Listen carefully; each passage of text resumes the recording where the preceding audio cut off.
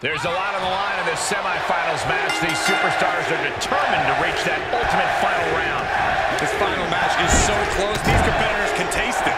That's some serious motivation for them to give this fight their all. It should be a fun one to watch.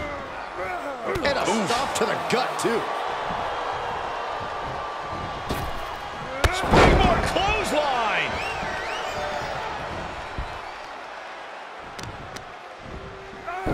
do some serious damage.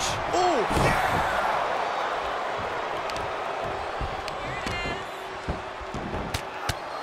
Punches to the ear? How are they going to hear after this match? Hayes, he's thinking big. From the top. And Carmelo's fighting the momentum in this one. Look, Sheamus loves a fight, but he can't be liking this. Still early goings here for these men. Oh, man, right to the arm. Hyperextend your elbow. Sheamus, of course, is quite the accomplished competitor. I can only imagine it's got to be overwhelming to step into the ring with him. Obviously, Cole, but we all know that Sheamus can be hot-headed, which is why a smart opponent needs to let cooler heads prevail. That's how you find the openings to take advantage against the Celtic Warrior.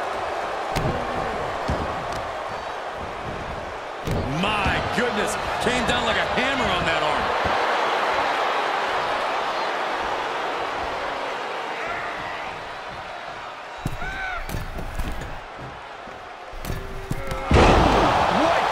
crossbody. And Sheamus can't seem to get out of harmony. And that'll about do it, folks. Here is your winner, Carmelo Hayes. This was as dominant a win as I've ever seen, guys. Never a doubt, barely a moment's suspense. This one was about as lopsided as they come.